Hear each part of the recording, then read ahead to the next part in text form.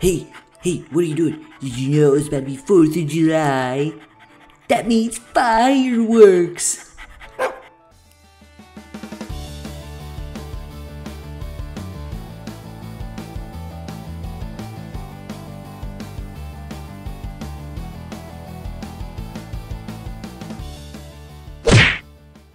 Okay, so today we're going to talk about fireworks. And for you humans out there, when you're blowing up your fireworks in the sky, well, you kind of have to worry about us dogs because, well, they're kind of scary to us. And yeah, yeah you, you have to do some things to make sure we don't go absolutely insane when you're blowing up your fireworks. See, ah, fireworks, make it stop. Ah, fireworks. So as you can see, we don't like fireworks very much, even though they're really pretty, and I know you humans get a real kick out of seeing those things blast off in the sky, but they just kind of make us run under a couch or, you know, hide in the bathtub. Okay, so the first thing I want to talk about is something called the Thunder Shirt. You may have heard of it before, but you know what? I just think it looks really cool, and it's called a Thunder Shirt because, you know, well, it helps us dogs you know, not be afraid of things like thunder and lightning and, you know, fireworks.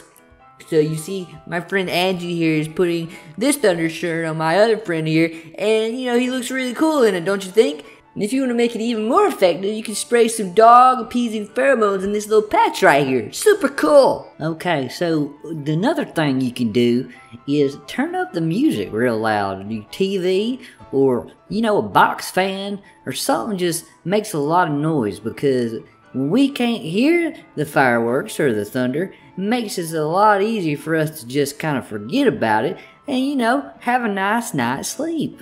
Alrighty then, one last thing. Don't coddle your pup. Cause we can handle your bottle rockets, Roman candles, flares, jabberwockies, skyrockets, homeless Pete's, fizz whistles, and biscuit thumpers, and, you know, anything else you humans feel inclined to shoot up into the sky this 4th of July. Put it reverse, Terry! Put it reverse! Oh, Lord! Lord, Jesus! But if you use your common sense, we can all enjoy a happy and safe holiday. For a lot more tips and tricks on keeping us safe during your fireworks extravaganza, be sure to watch our friend Angie's other videos. Don't forget to smash that like and subscribe.